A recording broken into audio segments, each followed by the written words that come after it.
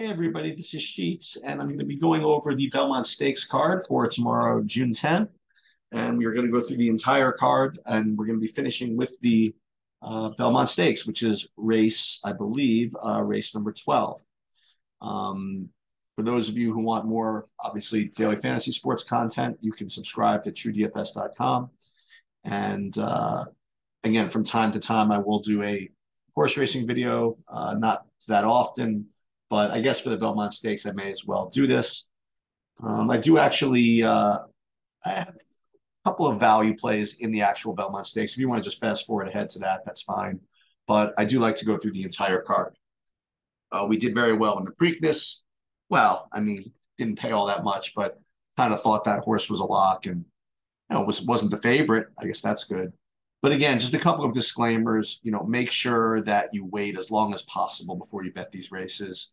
Um, I'm going to be able to give you an idea of what you know what these prices of some of these horses are going to be, but um, there's really no upside in putting your bets in early unless you know you're just not going to be around. Um, the good news is is that we do have kind of advanced odds because the pools have been open for the Belmont Stakes card. So at least I have an idea of what some of these uh, horses are going to look like. All right, so let's just go through this. Uh, let's start with race number one. Uh, boy, is this actually right? Yeah, so I like the two, the four, and the nine here. And the nine is looking to be somewhat short. So the two and the four are both pretty good prices. So Get Respect and Oolong High, uh, I definitely like those. Now, again, I'm not going to be getting into why I like anything. I'm not going to be giving a lecture on, on, on, on horse race gambling or the sheets or anything like that. This is a pure just picks video. In other words, you know, this is who I think you should bet. Uh, if you wanted to stay, you know, stick around and, and DJ the Belmont Stakes card, I, I do promise you this: that you're going to do a lot better with with what I'm giving you than if you did it on your own. And I also promise you that in the long run, um, you are going to be EV following my stuff. I'm not going to get into all my history with betting betting on horse racing, but uh, needless to say, uh, this is probably probably the highest EV edge I'm going to be giving you in any of the things that I do. Um, anyway, so first race here, the two, the four, and the nine, with the two and the four being a uh, pretty good value here. All right, race number two. Um, race two, I think the two solid is really, really um, the most likely winner. I don't know exactly what odds you're going to get on him. This one, you actually don't get advanced odds, which is a little bit annoying. You have morning line of four to one. If yes, if you can get four or five to one, I think that's great. Um, I, I, wonder if it's going to be, you know, bet down and be more like three to one, in which case I probably would not bet it. But if you get four or five to one on solid, I think it's a solid play. So um, race two, we do like the number two horse.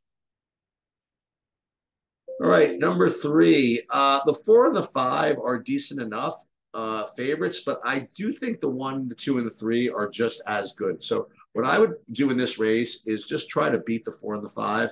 And depending on your risk tolerance, you could play two, three, or you could play one, two, and three. Or if you really like the long shots in race one, you can go, um, excuse me, in race two, you can go all of them, like one, two, three, four, five, if you didn't want to take any risk this race. But I do think that there's nothing particularly great about the four and the five.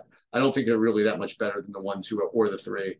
Um, so you're definitely getting value with those first three horses. So if you want it again, and well, you know, let's well, I'll show you what you can do. So you could play the first race, those the, the those two four, two four nine, and then use the two in, in race two, and then the you know one two three in race three maybe towards pick fives. We'll put in some kind of phantom bets here to kind of show you the different things you can do. Um, race number four, it's really not that great. I, I wrote down five horses uh, the one, the three, the seven, the nine, and the 10. And there's really not a great amount of value. So I'd probably pass this race. But again, like if you like something in some of the earlier races and you want to hook it up, then those are the horses I would use one, three, seven, nine, ten. Um, race number five, we have right? So I think the one is pretty, you know, kind of a lock. I mean, he's going to be really, really short. He's like going to be probably like one to two. You you won't get even money on it. But if you want, I mean, the six, six is definitely the second most likely winner. So if you wanted to do a cold exacta, you play one six. It's really not going to pay all that much. So what can you do? Like, so to start this off, you can play, for example, like a pick five in race one. You could play maybe like it depends on how much risk you wanted to take. Like if you want to play all the three horses, you play two, four. Sorry, pick five, two, four, nine, and then we could use the two in race two. Then in race three, let's just say you didn't want to take too much risk. You want to use all these five, and then in race four, played one, three, seven, nine, ten, and then in race number five, we did like the one and the six cold. But if you wanted to use both of them, I think this is obviously pretty safe. So if you played this, you could play this pick five wheel for 50 cents for $75, for example. And that really doesn't, you know, this covers pretty much everybody that I like. Um, you know, if you wanted to go back and get more with, say, the two and the four, you could do that. Uh, and likewise, in like race three, if you want to just use the one, two, and three, you could do that. But I think this is a pretty good, you know, a good start. Now, again, if if if the let's just say we can save this bet if you want. Or if you didn't want to do that, let's just say that you didn't get out of race two and you know solid lost and it could lose. Then you could also start like a, you know, uh, go back to race number was it two? No, let's say that the second race lost. You could start a new pick three in race three where you could do something like, I don't know, one, two, and three to beat that horse, and then one, three, seven, nine, ten, but you're kind of running. It's not the greatest value in the world here. So I probably wouldn't do this. It's probably not just, there's not that much value here, but this is what you could do if you want to get a little bit of value. Now let's move ahead to race number six. Let's get race six. Uh, where are we? Race six. Uh, I think the four, the five, and the seven are kind of okay chalk. And, and, then the one and the two would be my next horses. It's probably not a great betting race, so I probably actually would pass this one. Race number seven. Um, yeah, I think that the the favorites are fair enough with the four and the six, but I don't think they're any really different than the one, two, and the five. So I would play the one, two, and the five with as some value here. Um, and again, I think the four and the six are okay, but I think the one, two, and five are certainly just as good. So I'd probably use those. Race eight is is a war. I mean, there's a lot of horses that can win this. I literally wrote down like 10 horses I think I, that could win. So let me just give you a couple of stabs, maybe. Um, New York Thunder at 12 to 1. I like that. Um, the eight Fort Bragg at five to one isn't bad. And the 13 Drew's Gold at eight to one. So those would be my three top values. The one New York Thunder, the eight Fort Bragg, and the 13 Drew's Gold. Race number nine, just a whole bunch of horses. I just really have no opinion there. Race number 10. Um, Okay, so I think the one, the six, and the seven are the three most likely winners, but the one is seven to five.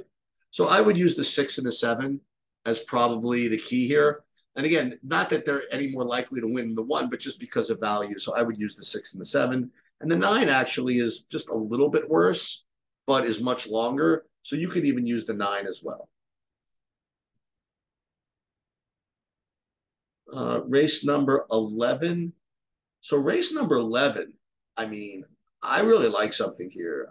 The four and the eight are okay favorites, but I think the seven at 12 to one is a really, really strong piece of value on this card. So I really like this one a lot. So you want to play, for example, one, six, seven from the last race, or even just six, seven, or even one, six, seven, nine with the seven. I think you could do that. I think the seven is one of the best values on the whole card. And then in the Belmont Stakes, um, so this is my analysis. Okay, I think that the most what the most likely winner is going to be the eight, uh, Angel of Empire. Now, that doesn't necessarily mean it's the best best value, but I think that the eight is is the most likely winner. Um, the two best values, I think, in the race are the one Tapit shoes and the seven hit show. Um, uh, quite honestly, anybody except for the five and the nine, I think, can win this race. But as far as like the, the most likely winner, I think it is going to be Angel of Empire. And then the best values are going to be Tapit Shoes and Hit Show. So what I would do is I would probably box all three of them: Tapit Shoes and Hit Show and Angel of Empire. And then for you know exotics from previous races, I'll use both Tapit Shoes and Hit Show. The one kind of wild card horse here is Forte. Forte could really run a big number and win this race. Um, but I'm just not betting him at this short price. But if you did want to use Forte, I'm, it's it's okay. But I would only use him probably with those two long shots, a Tapit Shoes and Hit Show. So again, Angel of Empire most likely winner. Hit Show and Tapit Shoes are the two best values, and then maybe Forte just with Tapit Shoes and Hit Show. Um, and I never, I'm not looking at race 13. Race 13 is when you leave the track after the Belmont Stakes is over. So hopefully you guys do the same. Um, so that'll do it. Uh, hope you guys have a profitable Belmont Stakes. Uh, if you want more DFS content, you'll join truedfs.com. If you want to wager on Express XB Select, which is where I've been wagering for a zillion years, uh, you could sign up with them and use TrueDFS as a promo code, and you probably get something for free. I don't know exactly what. And uh, that'll do it. Good luck, everybody.